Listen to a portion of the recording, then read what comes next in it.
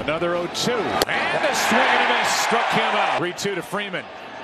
He's got him looking. Two down. Struck out the side.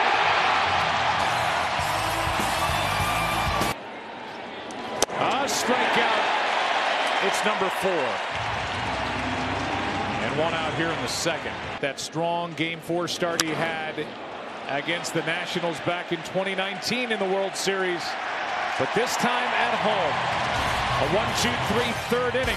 Uh, you know, he works on hitting the ball all over the ballpark. And uh... okay, 0-2 pitch.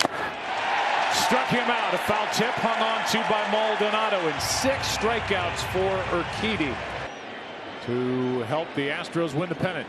A strikeout for out number one and seven strikeouts now for Urquidy. That is Gurriel. And that